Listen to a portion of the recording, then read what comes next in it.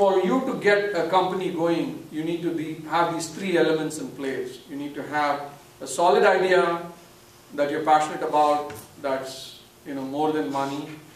Uh, you have a solid team that's coming together, and then the third one is uh, you have a market and a paying customer for it. If you have that, you have a company, and and it's never too late or early to start a company. You can start anytime you want. I mean, there are I know people who have started companies uh, even before they graduate from college, uh, and there are people that I know who have gone all the way up to uh, you know retirement, and then suddenly they decide that hey, you know here's an opportunity that I stumbled upon. I want to build on that and put a team together and scale it up. So it's never too late or never too early but you need to have these basic ingredients for you to have a successful company.